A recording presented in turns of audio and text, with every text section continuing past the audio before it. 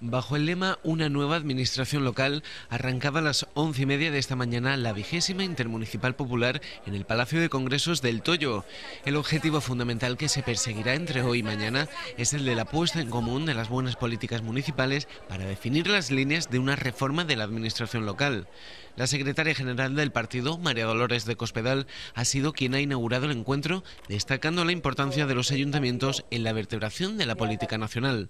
reivindicar el valor de los alcaldes, de los concejales, de los ayuntamientos, como vertebradores también de una labor política e institucional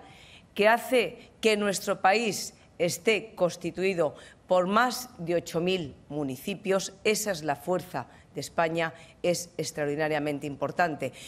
El secretario general de los populares andaluces, José Luis Sanz, ha sido otro de los dirigentes que han intervenido esta mañana. En su ponencia ha dado las gracias al gobierno de Rajoy por defender y apoyar a la comunidad andaluza. Gracias al gobierno de Mariano Rajoy han venido a Andalucía casi 11.000 millones de euros a través de instrumentos extraordinarios de financiación. Nunca un gobierno ha hecho tanto por las comunidades autónomas, nunca un gobierno ha hecho tanto por la comunidad andaluza, nunca un gobierno ha hecho tanto para apoyar a los ayuntamientos andaluces que están perjudicados están por la crisis económica. Definir las competencias de cada administración, potenciar la labor de las diputaciones y eliminar las duplicidades se vislumbran hoy desde el corazón de Almería como clave para la buena salud económica del futuro de España.